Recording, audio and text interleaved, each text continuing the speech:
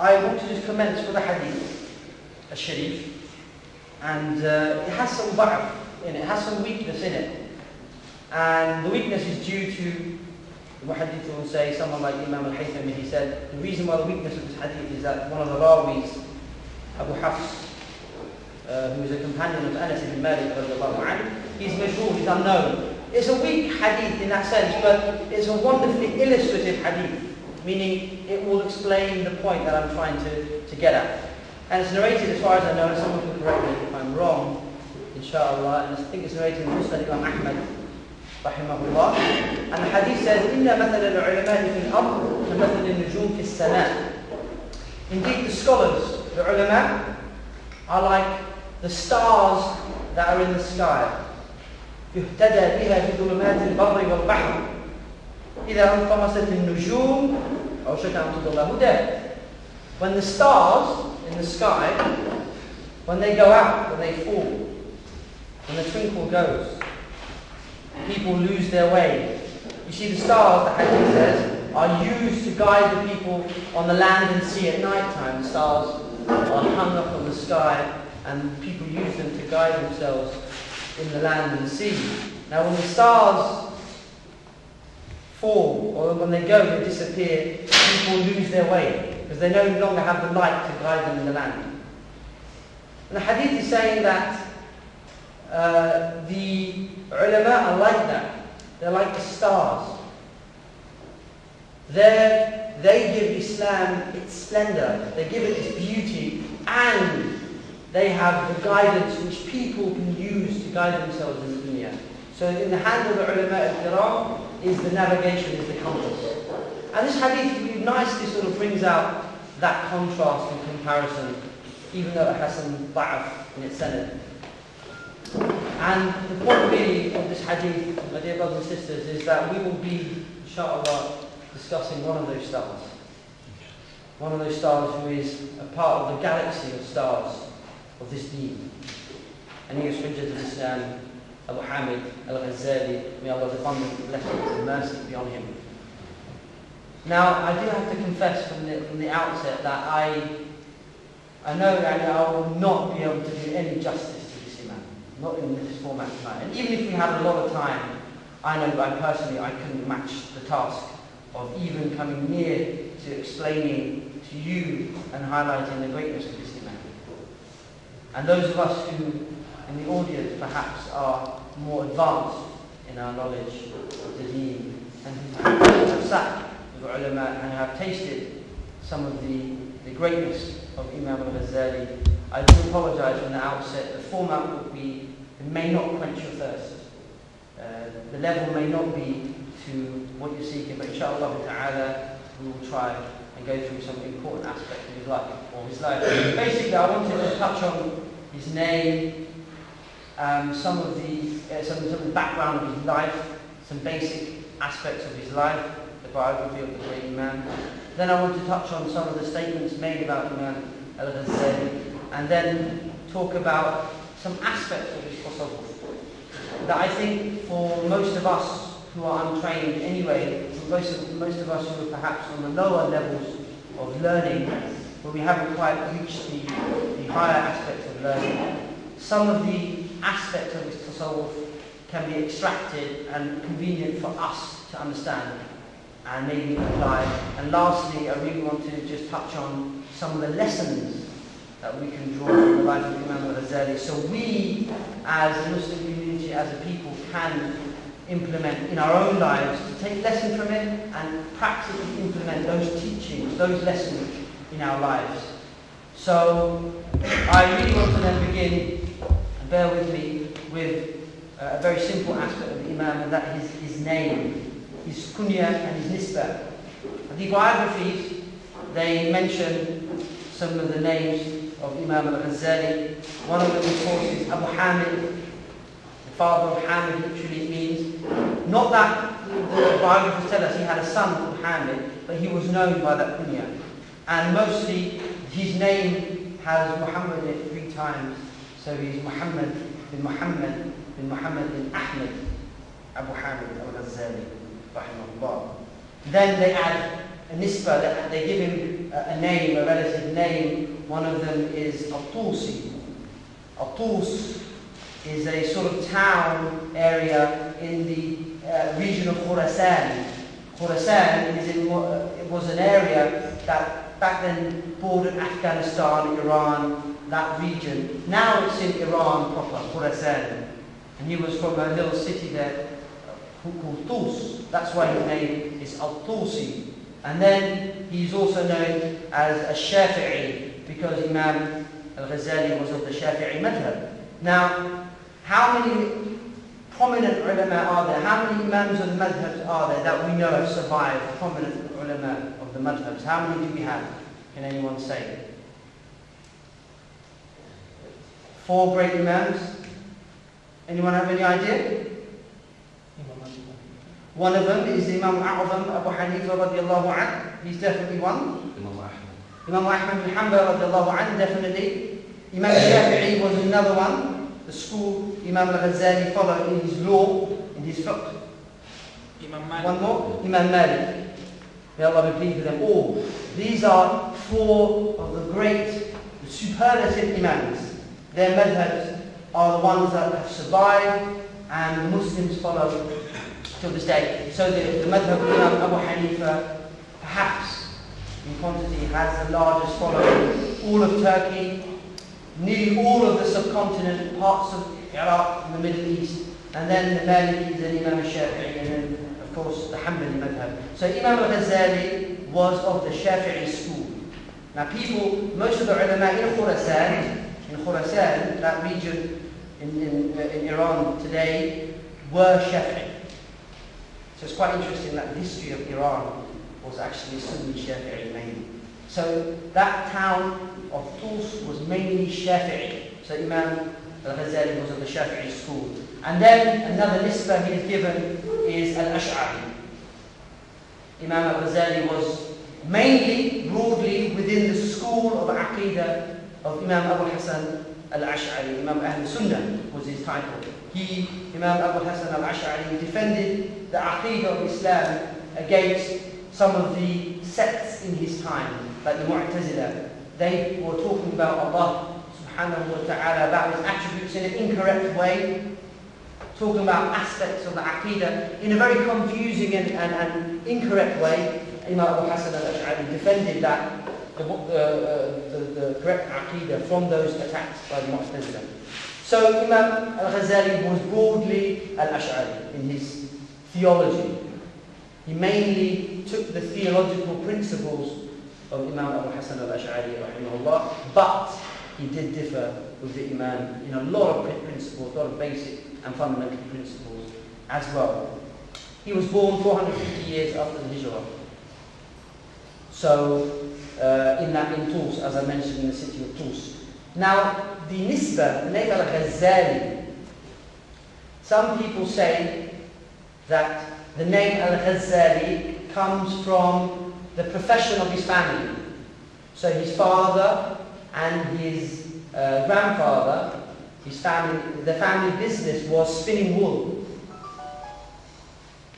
They used to spin wool and owned a shop. So hence some people say because Imam al-Ghazali worked in the shop as well, he helped out. He was a good son. He helped out and he helped his dad run the business. He got, he got that name from that, from Ghazali, someone who spins wool. So his name was Ghazali. However, most of the historians, they say, really he was born in a specific village called Ghazala. So hence he's from, uh, he's a Ghazali, someone from the village of Ghazal. So there's some difference there as to the name Al-Ghazali. Um, he had, he was married, he was happily married, he had children. There is no, no historical evidence to say whether he had a son, but he had several sisters. And his mother was alive as well um, through much of his early middle period of his life. Imam Ghazali, of course, just to give the day he passed away, توفى في الرابع عشر جمادي الآخرة in Tabaran. He died in the city or the area of Tabaran, which is also in Iran, by the way. Uh, Tabaran is within Iran. Um, and he was 55. He, had, he was 55 years of age, Imam al-Ghazali, when he passed away. And the year he passed away was 505 after Hijrah. So he was born 450 years after Hijrah. He died, rahimahullah, 505, so it's 55 years he only. Some of his titles, Imam al-Ghazali has a long string of titles.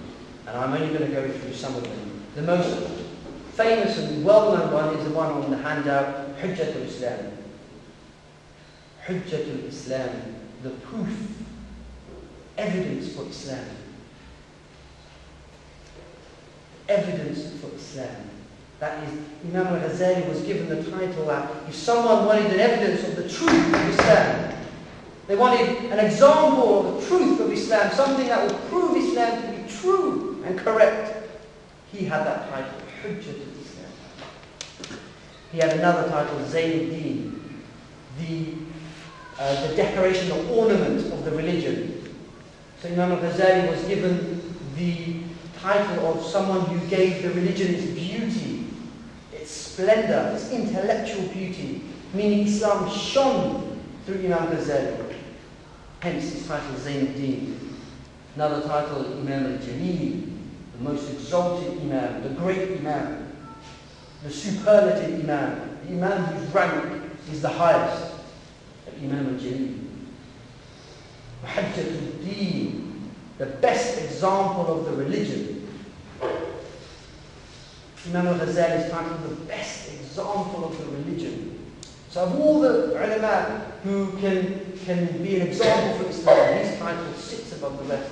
He is his most, the best example for the religion. He had another title as well, Imam al-Khurasan, Khorasan, that region where he was born. He was the whole Imam of that region. Imam of Khorasan. And because Imam al-Ghazali also lived in Iraq, he had the title of Imam al-Iraq. He was the Imam, the Imam of all of Iraq. Those are some of his titles. So this demonstrates, just by some of his titles, you can see the, the position of Imam al-Ghazali in history how this demonstrates his position, his uncontested position within Islam. And we know there is a hadith that is sahih والبروفيت صلى الله عليه وسلم. مش باب الفن غير باب لا المسجد اذ من you to صلى الله عليه وسلم. you should say صلى الله عليه وسلم. so our prophet صلى الله عليه وسلم he said in a hadith إن الله يبعث بهذه الأمة على رأس كل مئته السنة من يجدد لها دينها. That Allah raises up every hundred years, every century, Allah raises up a person from this ummah, from the ummah of Muhammad sallallahu alayhi wa sallam, someone who will revive for its religion, meaning renew it, what was dead in the religion, that, that person will renew it again, give it a new life, inject a new uh, energy into it again, revive the sunnah that was lost. Everything that was lost in the religion, that person will revive it. Every century, Allah will raise a scholar from this ummah. It can be scholars as well, not just one person, but it could be a few. But uh, in every century, Allah will raise a mujaddid, a renewer of the religion. And historically there's always been some disagreement as to who exactly was the mujaddid of his time. But when it came to Imam al-Ghazali, the Hujjatul Islam, there was ijma', there was no disagreement. There was absolute consensus that the mujaddid, the one who renewed Islam for his time, was Imam al-Ghazali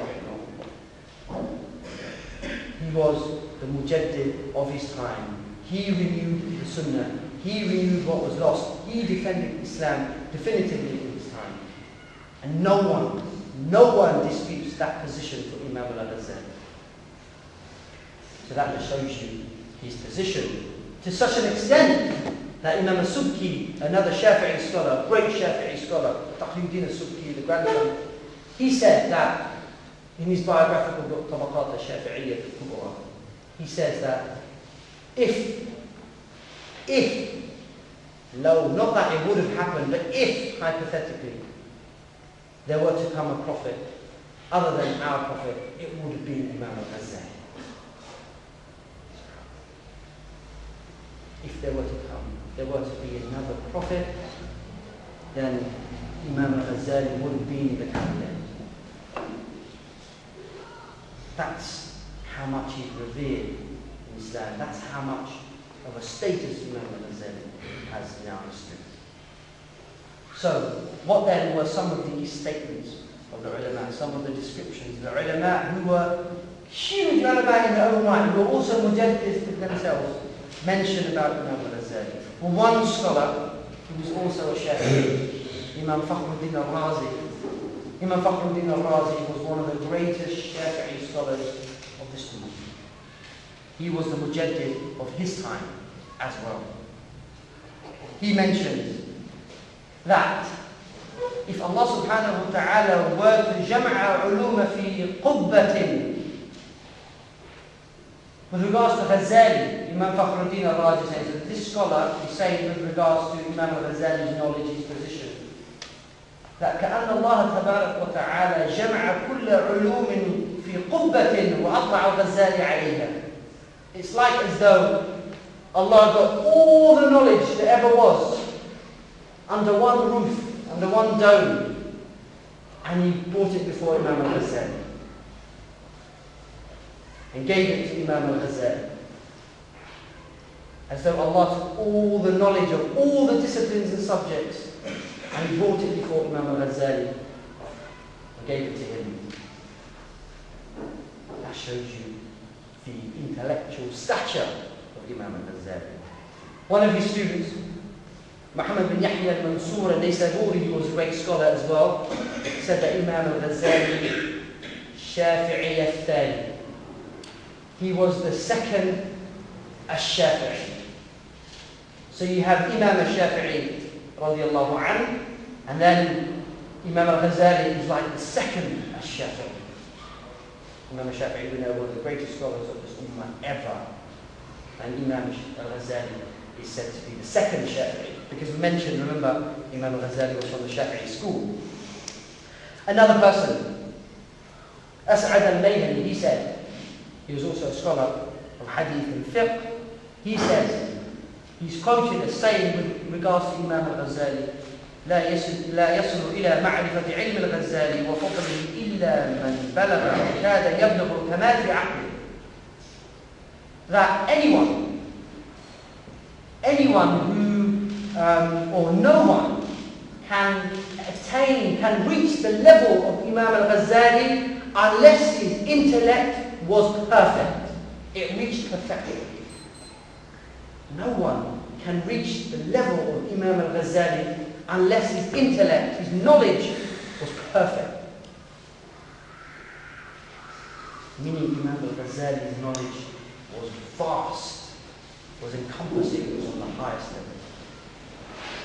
So these are just some of the quotes. Just a further one to add, his, uh, someone who knew Imam Ghazali very well, also a historian, uh, Al-Farisi, Abdul Ghafir Al-Farisi, he mentions in his tarikh, in his history book, with regards to Imam al-Ghazali, after quoting long, long titles of Imam al-Ghazali, he mentions that he was uh, Imam al-A'immat al-Din, he was all the Imams of all the Imams in the religion, من لم ترع The eyes have never seen the likes of Imam al-Ghazali.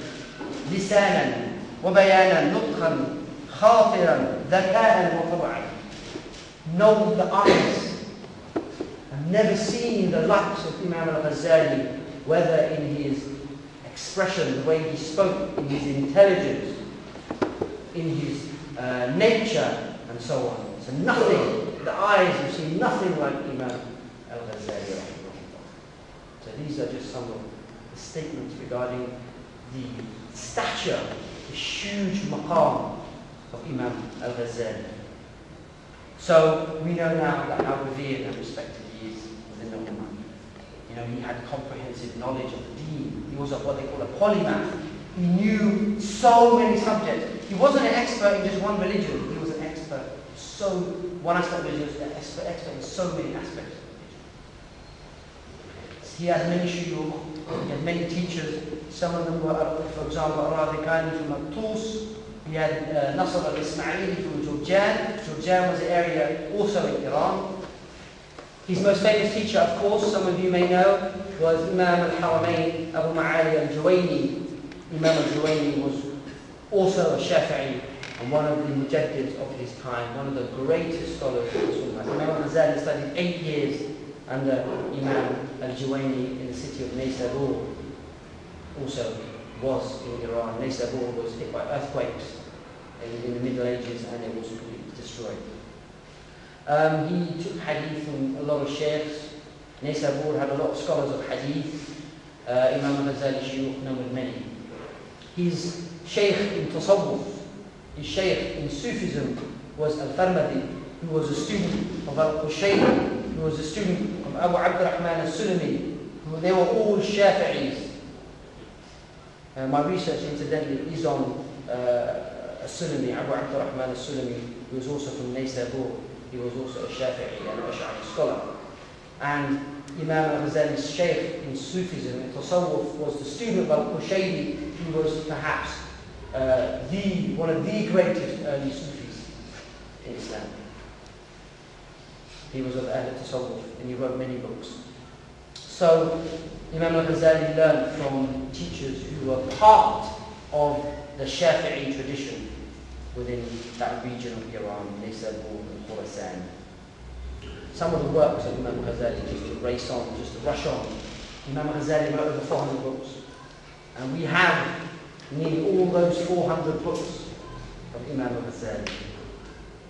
Large number of them are in print, so they're available. Some of them are still in manuscript form, they haven't been put into a book form yet. Some of them, I'm not going to list them here, but some of the more well-known ones, for example, is the Maqasid al-Falasifa. Imam al-Ghazali, he studied philosophy, he studied logic, metaphysics, ethics. He studied all these disciplines and he wrote a book laying out all the ideas of the philosophers the Maqasid al-Falasifa, the intentions of the philosophers. And so balanced was this book, so neutral and so fair was this book that it was, when it was translated into Latin after it was written, people in the Latin world used it in their universities as a textbook to study philosophy. They thought this person was a philosopher who wrote it, but it was Imam al-Ghazali who wrote that book. He wrote another book called Tahafut al-Falasifa, the destruction or the uh, incoherence of the philosophers. You see, in Imam al-Ghazali's time, there was a rise in philosophy, the studying of Greek philosophy. They were, these, they were people studying Greek philosophy and they were challenging Islamic beliefs. They were denying, for example, the, uh, the existence of the world as being something temporal and finite, meaning it was created. The philosophers denied that. They said it was eternal, like Allah. It was eternal. The world, the universe, was eternal. It had no beginning. It will have no end. Imam al-Ghazali attacked this doctrine, this, this belief of the philosophers. Another aspect that he attacked were people were denying uh, the resurrection, Ba'ath. They were denying that human beings will be raised up again by Allah subhanahu wa ta'ala. They were denying this, the philosophers. Imam Ghazali refuted them to show they were in error. These philosophers also believed that Allah couldn't know particulars. Allah didn't have any specific knowledge about the creation. He had general knowledge. Allah doesn't know every, every particular thing. He only knows things in general. Imam Ghazali refuted that. That is his cool. So Tahafut al-Falasifa is a well-known book, and anyone who studies philosophy, who studies medieval philosophy even, even to this day will have to uh, study those books. He wrote, of course, other smaller books, like Iqtisad al-I'tiqad, a basic manual on Aqidah, and so on. But, but, as you all probably know, the most popular and famous book of Imam al-Ghazali, his largest work as encyclopedia is the Ihya Ulumuddin, the revival or the uh, renewing of the religious sciences. Imam al-Ghazali in his time sought to bring back to life all the disciplines of Islam in his life that he felt had just died out. And he wanted to correctly renew them again, resuscitate them, give them new life.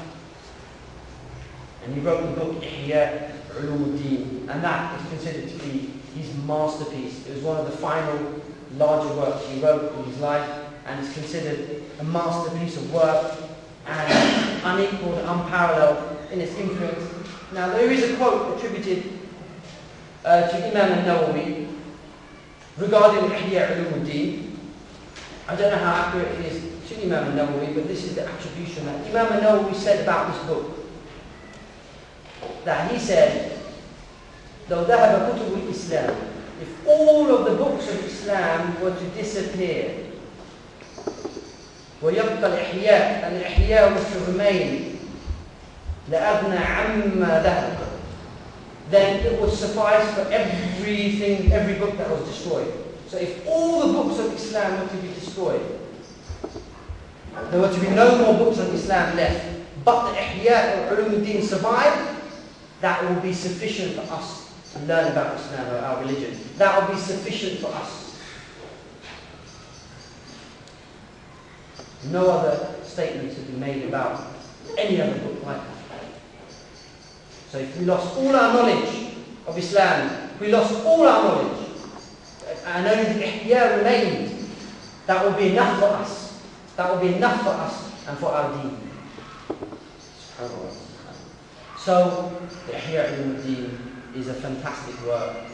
Um, it's divided up into lots of sections. It's really the final statement of Imam al-Ghazali and what he thinks theology is and tasawwuf is. And we will touch on some aspects of it in, in just a second.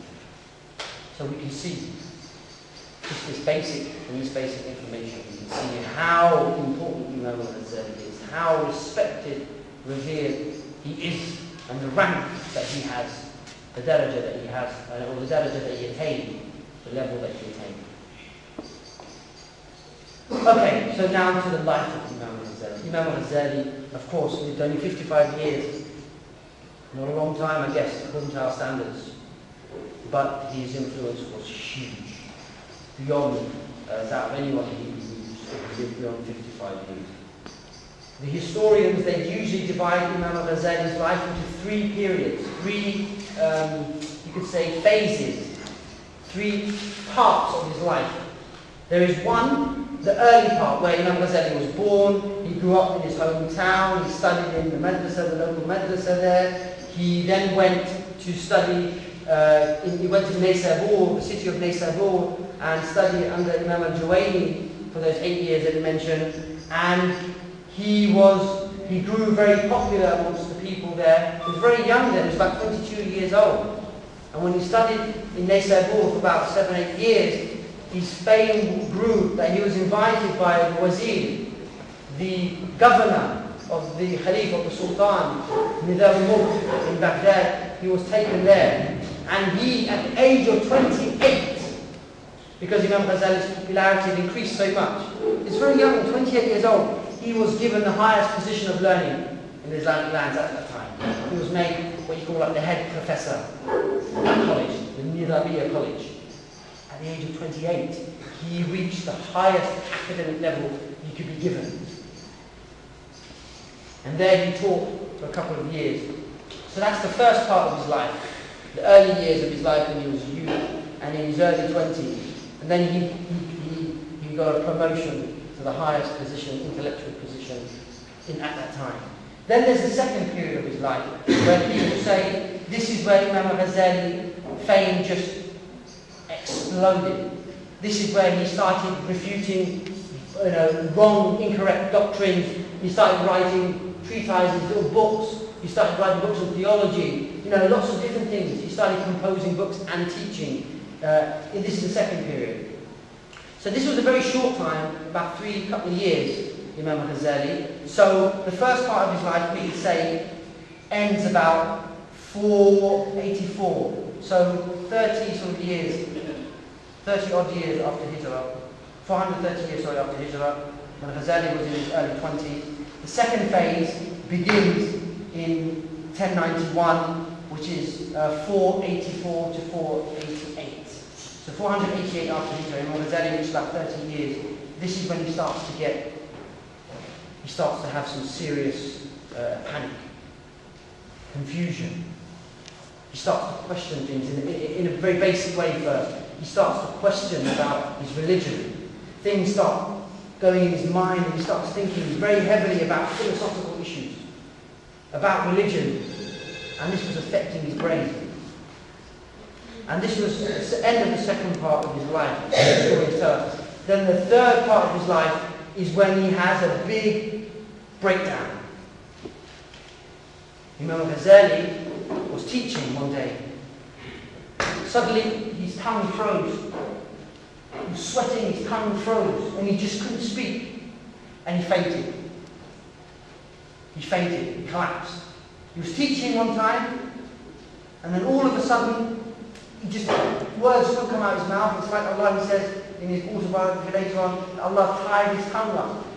Wouldn't even let him speak one word. He collapsed. He collapsed while he was lecturing.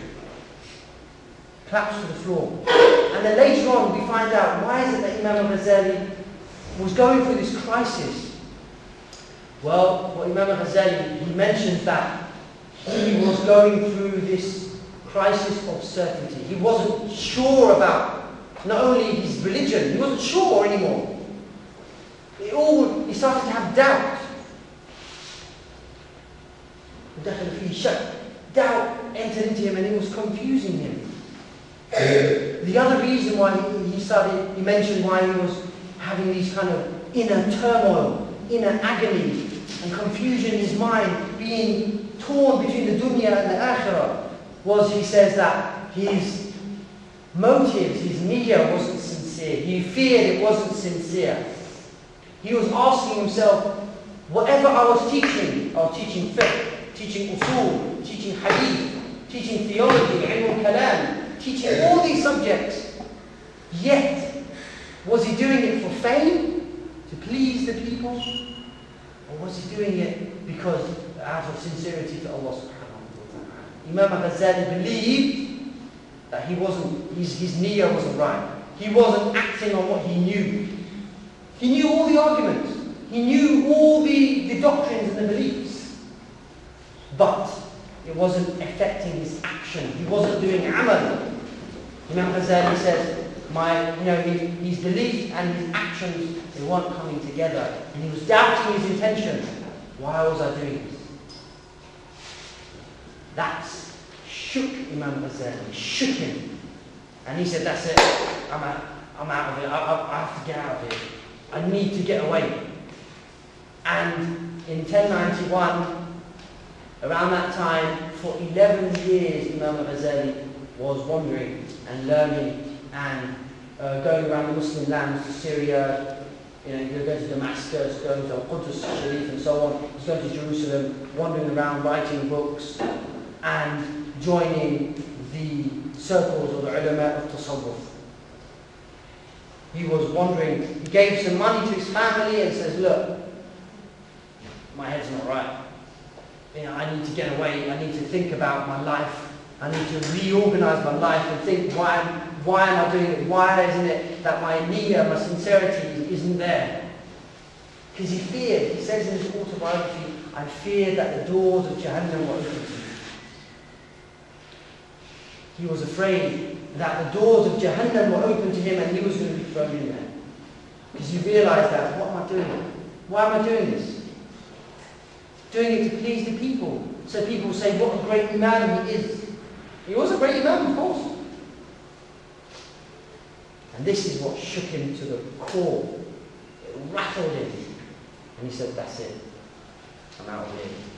And like I said, he went on wandering through deserts, towns, learning, sitting with the ulama of Tasawwuf, writing books, and then finally coming back to teach for a couple of years again. Um, and this is when he wrote the Ihya Ulum. And then the Shaykh, rahimahullah, passed away in 505 after Hijri. So Imam Ghazali was thinking about his own salvation. Am I going to get to Jannah where I'm supposed to be? This is what he was worried about. He felt that his inner, the inner part of him, the things that only he has access to, like all of us here, our intention, what we're really feeling. Do I really know what's in your, what you are thinking right now? No. Does anyone here know what anyone else is thinking? We don't have access to other minds. We cannot sense what's in everyone else's mind. I don't know for what reason and motive someone comes and does, why they do something, why they're here, why we're all here, why we do anything. Only that person and Allah subhanahu wa ta'ala knows.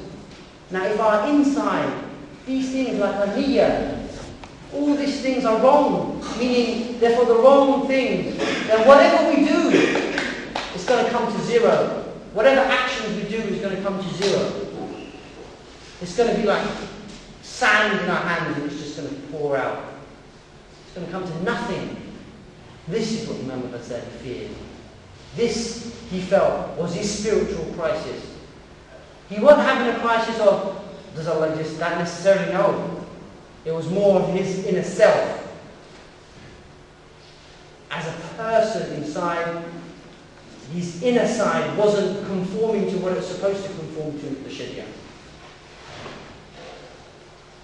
And in that 11 years of wandering, Imam al-Ghazali put together his program of tasawwuf, his program of how to purify the nafs, how to rectify the heart, how to get the heart to the place that it's supposed to be and be acceptable to Allah subhanahu wa ta'ala. This was what he spent the later years of his life, and this is what the historians say is the third period of Imam al-Ghazali's life. So his spiritual journey began then. And then when he finally came back, of course, he taught, he carried on teaching, and again his fame just grew more and more, more and more, he multiplied. Okay, so coming to the point now of Imam al-Ghazali's tasawwuf. You know, there is no way, there is no way that we are going to be able to even start to, how can I say, work our way through this beautiful but very dense forest of Imam Ghazali's work. I mean, there's no way we can even begin to start to touch on all the aspects of his tasawwuf. But what I, what I felt I wanted to do really was to share some quotes from Imam Ghazali's text that he wrote to a student of his, asking him about advice. And in that, we can start to glimpse what Imam Ghazali's soul is about. What is it that he's emphasizing? We don't have to go to the details, specifically what he said on what page, and what does that term mean. This, of course, scholars have debated and discussed, but for our purposes, we can't really um, benefit from that unless we've studied the subject in some depth. But I want to share some statements about Imam al-Ghazali that he wrote, like I said, to one of his students who asked him about advice. And Imam Ghazali has lots of advice, but he, there are some quotes that I thought I would share as worth knowing so then we get an idea of what his tasawwuf is about. What is his Sufism about? So we know that Imam Ghazali, anyone who studies his books in a basic way, his tasawwuf is based on Quran, it's based on Hadith, it's based on the lives of the Sahaba, and it's based on the lives of the ulama of tasawwuf. Imam Ghazali quotes a lot from the ulama of tasawwuf and uh, those who taught, uh, um, you know, had those teachings and passed them on. He, drew, he draws on from much earlier books like from Abu Talib al-Makki, the Qut al-Qulub, uh, the works of Imam al-Muhasibi, who, you know, who is phenomenal. Perhaps one of the greatest shaykhs, Imam al-Muhasibi, definitely the shaykh of the nafs. If there's anyone who knew how to master the nafs and control it, Imam al-Muhasibi was that shaykh, was that Imam. He drew from the books of these two Imams and other, of course, uh, scholars in his time. And um, really, if we were to try and equate or try and say, what does Imam, in one statement, what does Imam al-Ghazali's Tasawwuf tell us? Well, in one statement we could say, conformity to the law. It has to agree with the Sharia. And here's a quote. from his book Ayyuha al-Walad, O beloved student or O beloved disciple, where Imam al-Ghazali, he writes advice to that student. And he said, the student asks him, what about ibadah? Everyone does it, pray, fast, so on. What is ibadah really? I want to know what obedience and ibadah is. And Imam al-Ghazali writes, I'lam. Know. Be aware, you've got to know this. I'lam. Know. أن الطاعة والعبادة, ibadah, that obedience and worship these two things, obedience and worship, have to be متابع الشرع. It has to um, follow or agree with the law, i.e. the Sharia, or متابع الشارع, or has to agree with what Allah legislates, what Allah tells us. في الأوامر والنواهي. So what Allah commands us to do, and what Allah tells us that we have to stay away from. So Allah's commands and prohibition. Ibadah and ta'ah is conformity to this. في القول والفعل in statements, in your words, and in your actions. So it's not enough for us, our statements, what we say to agree with the Sharia. What we do must agree with the Sharia. In other words, he says, يعني كل ما تفعل كل ما تفعل everything that you do وتقول and you say وتترك يقول باقتداء الشرع everything that you say everything that you do everything that you believe has to be in accordance with the Sharia the law of Allah subhanahu wa ta'ala it ain't anyone else's law it has to conform to what Allah subhanahu wa ta'ala revealed in the Sharia so which means anyone who wants to do something anyone who even wants to start the hard process of training their nafs, training that ego that we've got inside, that personality we've got inside us. You can't do it unless what you say, what you do, is in agreement with the Sharia. And then Imam al-Ghazali, he says, he says to the student, look, you have to also know one more thing. Just to emphasize the point. ينبغي لك أن يكون قولك وفعلك موافق للشرع. And he emphasizes it again. Look, you have to make what you say, what you do, agree with the Sharia. Why? Why? Because someone can ask why. He says, if, because العلم والعمل بلا اقتداء الشرع ضلال. Why? Because العلم والعمل بلا اقتداء الشرع ضلال.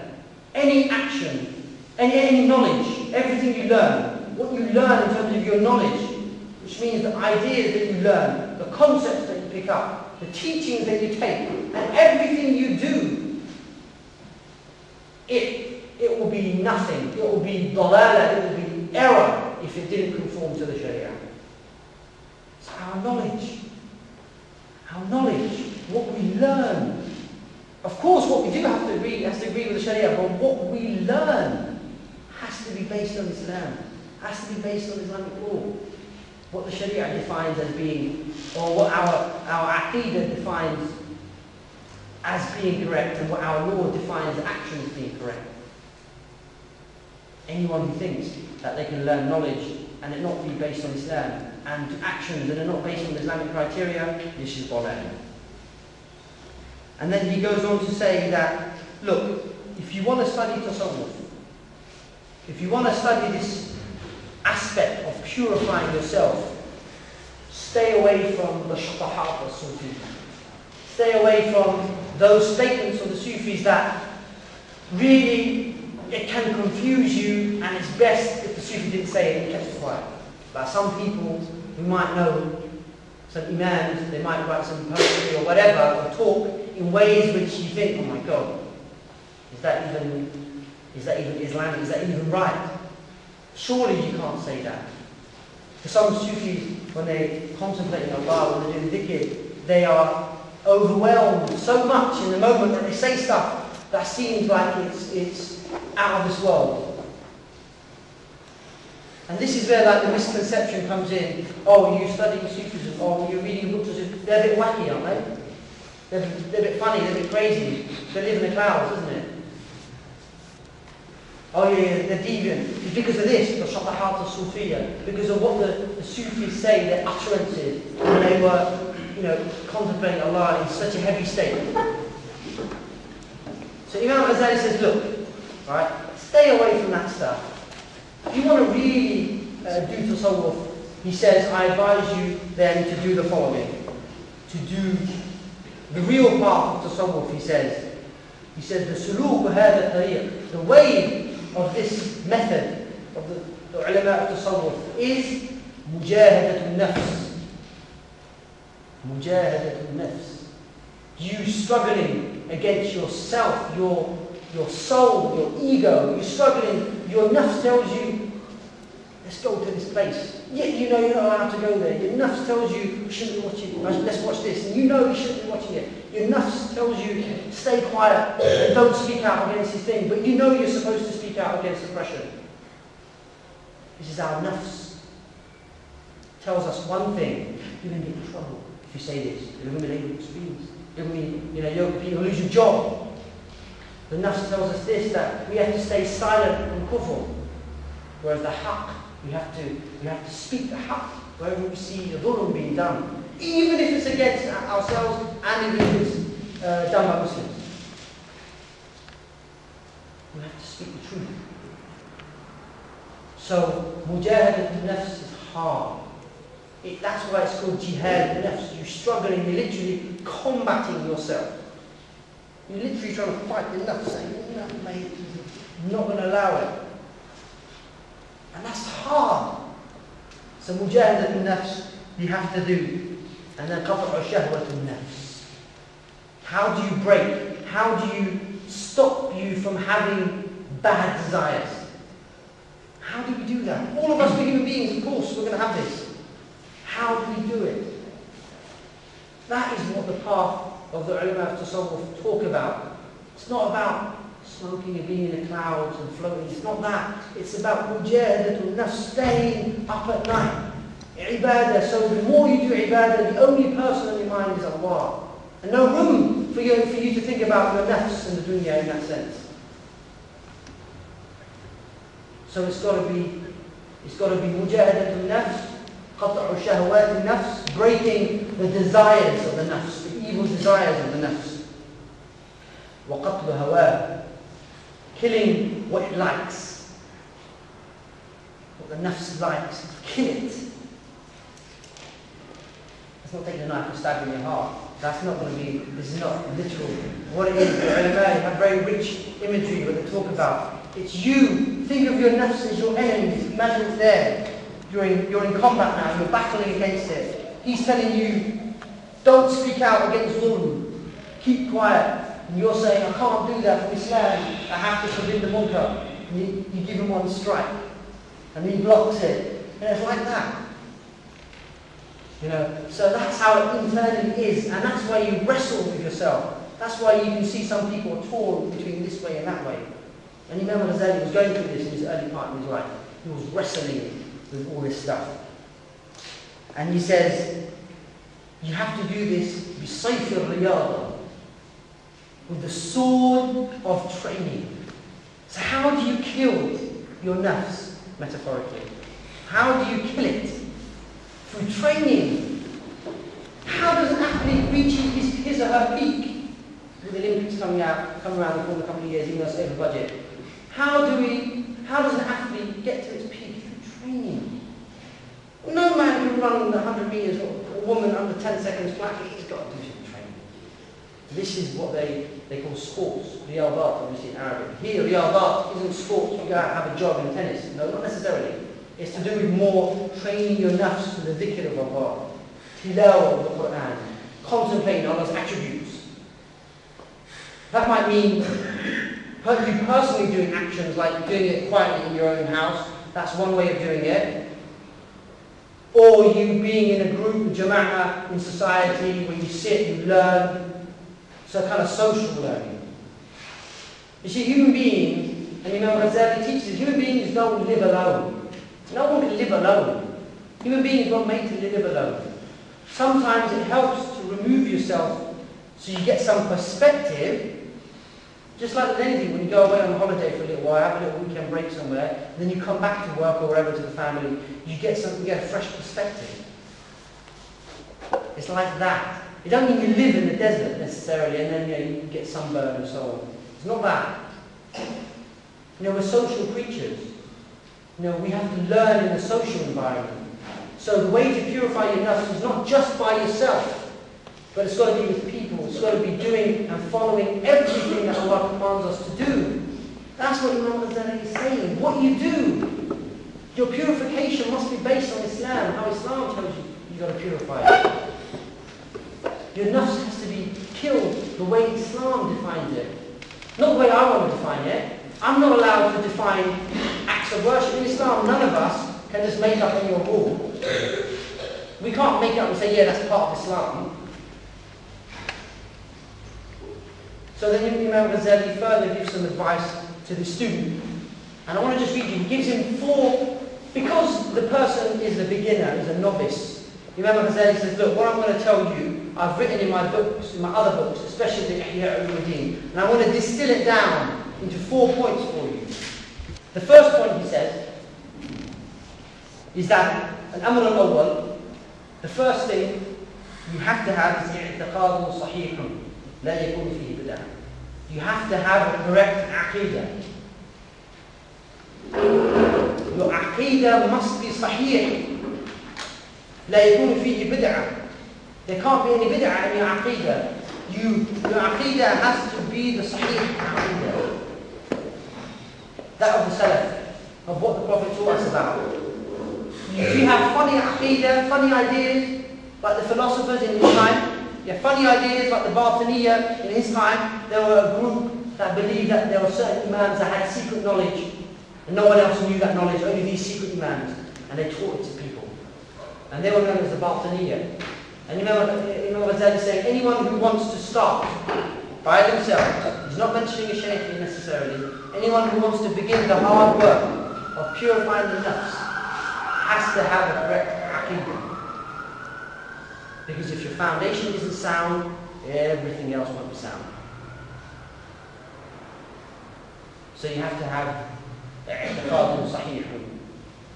Then he says, الأمر الثاني والثاني, the second thing you have to have out of the four, he says توبة نصوح لا يرجع بعدها إلى الزلة. You have to have, if you want to start something new, if you want to start, you've got to begin with tawbah. You've got to make repentance to Allah and say, Allah, look, I'm, I'm going to try. You know, forgive my, my, my previous sins, but I'm going to try a new slate to try really hard and purify myself according to your law. Not to return to the zayla, to that, to these slips, to these errors. To remove yourself from this errors, try and stop yourself from going into this error and ask Make sincere tawbah to Allah subhanahu wa ta'ala. Tawbah to Nasuh. And then he says the third one, which is quite interesting. And then he says, Istirda' khusum. Really to settle all, all the issues you've had with people before. Anything you've done, anything that people have argued with you about, debated with you about, any kind of baggage you've got, clear that up. So that someone can't use that against you or make a claim against you. Because if you're having a fresh start, you want a clean slate, you've got Sahih Aqidah, you make progress on Allah, you know, get rid of all that baggage. Get rid of all that baggage. So that no one can claim something against you. And then the fourth, fourth one, Imam Ghazali mentions out of, out of what a person needs if they want to take four things away in trying to do tasawwuf, the fourth one, he says, والرابع تحصيل العلم الشريعة بقدر ما تؤدي به أوامر الله تعالى. That is to learn. To learn. To have knowledge of.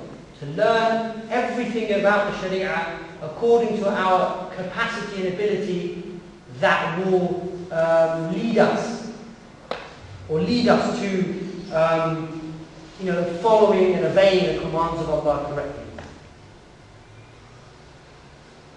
And then he says, so the first thing we have to have is knowledge of the Sharia. We need to know what's right, what's wrong, before we can act. Because we might do an action and then it's prohibited by Allah. See, most of us, what we do is we act before we seek the hukum. We do things, then we say, oh, Shaykh, am I allowed to do this? And the Shaykh says, have you started yet? He's like, yeah, I've done it. I'm in a mess, what do I do? And then when the Shaykh says, you're not allowed to do it, you're in trouble.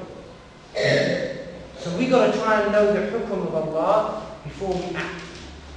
And Imam Ghazali says, everyone, for those who are sincerely trying to learn the deen and meaning purify themselves in that way, has to know knowledge of the Sharia according to their ability so they can worship Allah. Now, brothers, this is a very, very important point. Very, very important point. And Imam, I'll come to that mention how, why. Imam Ghazali mentioned that then you can learn other sciences. Then you can learn other sciences. So you can learn other sciences that will help you and save you in the akhirah, like the sciences of Islam, tafsir, ulum al-hadith. But his emphasis is on ilm, tahsil ilm al-sharia. Knowledge of Islamic law. So no one, no one can say that the ulama of tasawwuf, in, eh, definitely the ones that Imam Ghazali is talking about and following are people who do not follow the Sharia. How can you be Sufi? How can you be someone who, whoever you are, whether Sufi or not, someone who just wants to make their internal aspect, the personality, in conformity to, to the law, Islamic law, how can someone do that without Sharia? The other point, brothers and sisters, to read is that when Ghazali is talking about knowing, having knowledge of the law, there might be some things if we don't have knowledge of, we won't be able to fulfill the commandments of Allah subhanahu wa ta'ala. We saw the video up on there. I mean, everyone knows what's going on around the world, right? Everyone knows what's going on around the world in terms of uh, against Muslims and what Muslims are doing and so on. Or what, was taking place against Muslims. Now we would be in a serious in serious trouble, in serious situation, if we didn't know what the commandment of Allah was regarding this particular problem.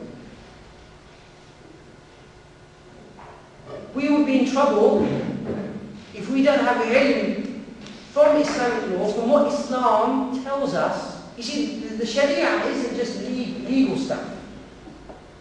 We have an understanding our Sharia is broader than that. It encompasses, encompasses moral, um, spiritual laws, political laws, economic, so on, domestic law. It covers all of that. It's not just legal law. Sharia is a, is a term that covers all these aspects.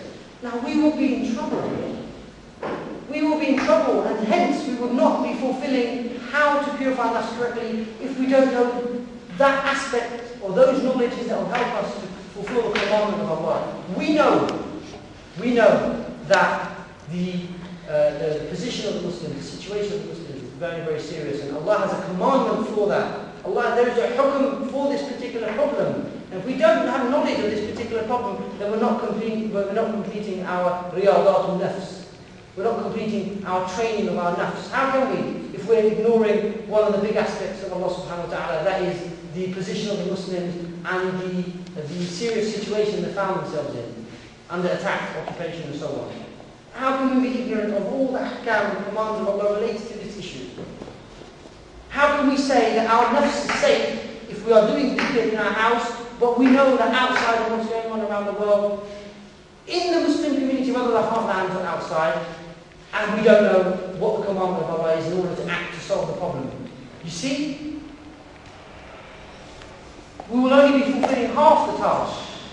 We can't say that's not part of Riyadat al-Nafs. That's not part of nafs training. That's not part of mujahadat nafs. How can it not be? It's part of the commands of Allah. And we need to have knowledge regarding the commandments of Allah so we know what is the solution to that problem from Islam. So the ayat mentioned it at the beginning, Surah Al-Ra'd, the ayat al-Kareem. إن الله لا يغير بقوم حتى يغيروا ما بأنفسهم. Allah does not change the uh, condition of the people until they can change or until they change what is within themselves, where they want to see. And this is not mal tahsis. This is not a mal that just specifically refers to something. This the Professor would say mal umum. What everything that is inside you as a person, as people, as a whole. So whatever is inside you that is relevant to you as a whole, you must change. Change to what? That's the question. Change to what? Change it so I can decide what I want? No. Imam Ghazali's advice, you change it in accordance with the Sharia. What other law, what other standards do you want to change it to? what other standards are you going to want? If you change it to other standards, you are not following the path of the ulama tasawwuf. Because Imam Ghazali clearly said that you have your everything you say, everything you do, every, everything you leave and abandon must be based on the iqtida of shara. Otherwise he says it's dalal, otherwise it's misguidance. The problem is sometimes we might think the scope for us is very narrow. No, the commandments of Allah are very wide. The commandments of Allah don't just relate to us as individuals only. They relate to every aspect of our life. And we need to know and have knowledge of the Sharia related to all those aspects. So that ayah in the Quran is not just restricted to nafs as in what some people commonly understand that you just do personal ibadah. How can it be? Well here the ma, the, part, the particle ma is al-umum. Ma bi Everything that is in you. Everything that is in you. And in you as a people, relevant to you as a people, can mean what? Yes? Your, your nafs, the state of your nafs. It could be the ideas that you carry. It could be the ideas you carry, the thoughts you have. All these have to be in agreement with Islam. Like Imam Ghazali says, your i'tiqad has to be sahih. And that's the first thing he mentioned. That if your ideas are like the Greeks, because in his time it was the Greeks, if your ideas are like the philosophers, if your ideas are like the Neoplatonists, the Aristotelians, if your ideas are like them, the Batiniya, then your aqidah isn't sahih. Similarly like us, if our ideas are not based on Islam, we're in trouble. We're in trouble. How can we step onto the path of purifying ourselves if our aqidah is completely out of question. I know I'm running out of time. I quickly want to just jump onto some lessons we can draw from Imam al-Ghazali's life. Wallahi, there's so many lessons to draw, but I only want to pick out five very, very quickly. Maybe that we, inshallah ta'ala, maybe we can try and uh, use that as guidance and practically implement it in our lives to follow the Imam in his footsteps. One, one thing that I think is worth mentioning about the influence of Imam al-Ghazali's life um, if I can find the, no uh, the note, is Imam al-Ghazali is talking about having um, your, it is not enough that you just theoretically learn something and it sits in your head. That's not enough. You can be the brainiest dude. You know, you might know all the hadith. You might be a geezer who knows all of the muhaddithun and their names and so on. You might know all the isnad. You might know even all the scholars' aqwal on this isnad, all the scholars' statements on this isnad. You might know all the books. You might memorize them off by heart. You might, you might memorize all these different classical texts. It is nothing. It is nothing unless your actions are in conformity to the Sharia and you act on what you know. Imam Ghazali was always emphasizing this. It's not enough just to have theoretical knowledge. And him, he, his early life was about that. He was trusting himself. I had it all in here. And it never filtered into here He always to, to make these limbs move to worship Allah. This is what Imam al-Muhasibi him, he says, إِيَّاكَ تَعْبُدَ اللَّهَ Beware of worshipping Allah with your intellect. You might know everything as information, just in your head. But that doesn't mean your limbs are going to move. That doesn't mean your limbs are going to move in the way of Allah subhanahu wa ta'ala. So you, our emotions, our feelings, our inclinations, all must conform to the Sharia inwardly and outwardly. One is deluded to think if the inward is purified and the outward is not, rectified that they're safe, and vice versa. You need both together, both together. And this rectification is not a, just a personal thing that you do behind closed doors. Second point, Imam al-Ghazali says, anyone who even thinks about abandoning the Sharia, there's no hope for that person. They can't even imagine to be on the correct way. Forget being on the way of the Sadiqun, those who are treading the path to soul.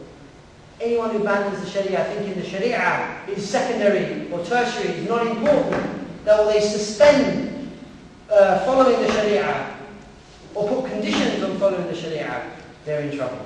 They're in trouble. The Sharia is the basis. And in the quotes that mentioned, Imam Ghazali reiterates that again and again and again. The rules are always because this deen cannot be established without law. And Imam Ghazali mentions that many, many times. That this law will uphold the rights.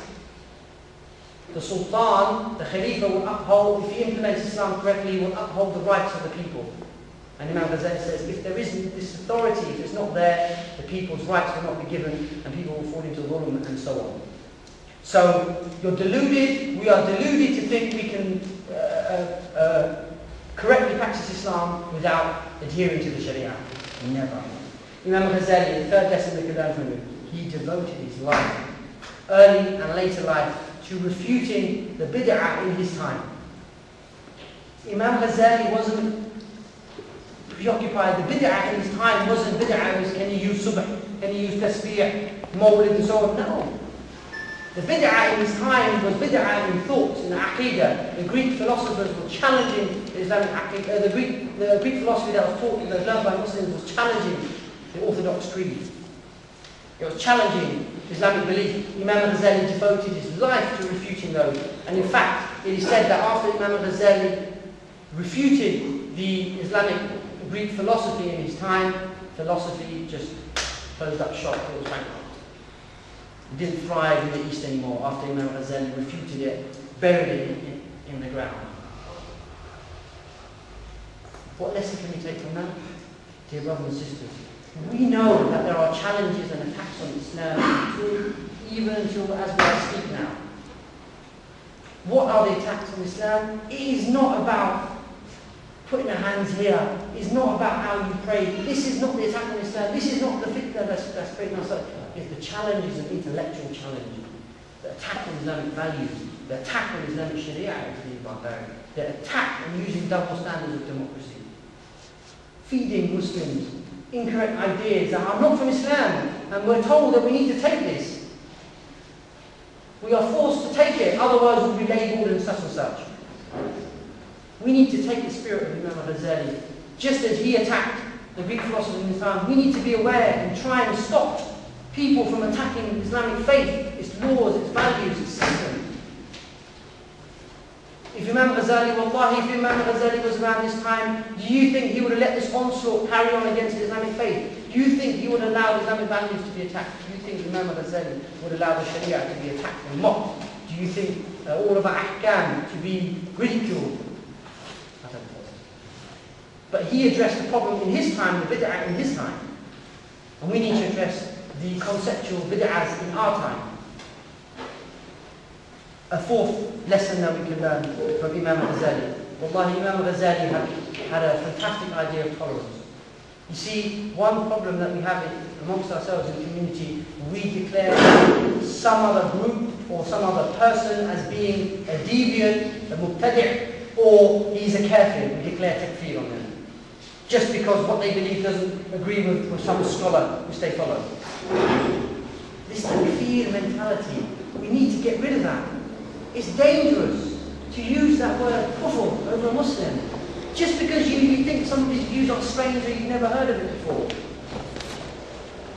That intolerance Imam Ghazali didn't stand for. And that's why I mentioned at the beginning, Imam Ghazali was of broadly the Ash'ari school. But, but, he knew some of his colleagues and people in his time were fanatically following Imam Abu Hassan al-Ash'ari rahimahullah, such that anyone who disagreed with Imam al-Ash'ari, they declared that person as being a kafir.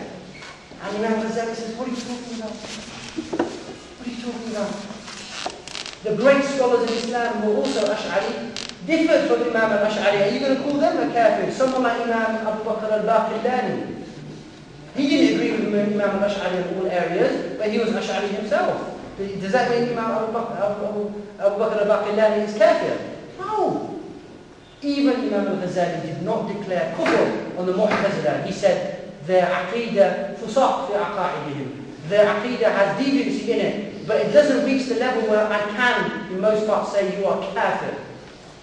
Because kafir means you are outside of Islam, which means if you're married, your wife has to divorce you. It means for other legal reasons, your blood can be spilled. That's serious.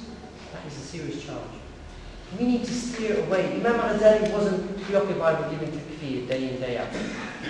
And where there's a difference of opinion, he said, let takfir fil furu' You can't give takfir in areas, branches of the faith where people disagree. I disagree with someone in certain areas. someone disagrees with me, and we both don't have an understanding based on Islam, I can't say you're kafir, mate. Because you don't follow what I follow, you must be kafir." That's a serious charge. That is serious. We need to take a lesson from Imam al-Ghazali and say, no, we're going to hold this tolerance. We are not going to let the word kufr slip onto our tongues and out our mouths so easily. Like some Muslims do, unfortunately. I'm sorry to say. I'm sorry to say. You're scared talking to some of these Muslims because you don't know what they might declare takfir on you. Wallahi, we might, we might laugh, but it's serious. It's serious. And we know about uh, one Muslim calling another Muslim kafir. Very, very serious. You don't want to go down that route. Imam Ghazali never went down that route. This is why even when he was refuting the philosophers, he never said they are kafir. He said if they deny that Allah knows everything, whether all particulars, Allah knows everything that someone will do, has done, and even counterfactual of what they may do, or what they would have done. If they, if they deny that, yes, then they're denying one of the names of Allah, Allah knows everything, Al-Alim, and so on. If they deny resurrection, the philosophers is talking about, yes, then they'll be kafir. If, if, if, if, if. Whereas we don't say if. We straight away will jump in and we declare this person, that person deviant. And I find it astonishing. No one can find that from the life of Imam al-Ghazali, rahimahullah. He wrote a little treatise on it, talking about that we should call for more tolerance in that respect. Worst comes to worst, if someone does happen to hold uh, a belief that is not orthodox, but it is in the branches of the aqidah, the areas where there can be discussion, we cannot declare the person kafir unless he denies something definitively established in the deen. Lastly, and I will conclude here, the last lesson we can take from Imam al-Ghazali is that Imam al-Ghazali was very insistent. He always insisted on the need for there to be an authority over Muslims. He emphasizes again and again and again that we need a sultan, adil. We need a just imam. Why? Because this, through this imam, the sharia that he's talking about that we have to follow can be administered. It can be implemented. So, not because to make some people powerful, not because to make some people rich, not because to make some people uh, have a higher position and status in the dunya, no, to administer the rights Allah has given that human beings uh, must have. To protect the religion, to protect the honor, to protect the unity of the Muslim, to protect the intellect, and so on and so on. The, the, the sultan, the authority that needs to be in place the Khilafah of Imam Ghazali is talking about this is what alone will administer the rights correctly to the Muslims and non-Muslims, protect the religion and safeguard it from, like I said, threats, external threats and so on. And this can only be done, Imam Ghazali mentions again and again, under Sultan Adil, under a just Imam, without which uh, the, the, laws of Allah subhanahu wa ta'ala cannot be implemented. Uh,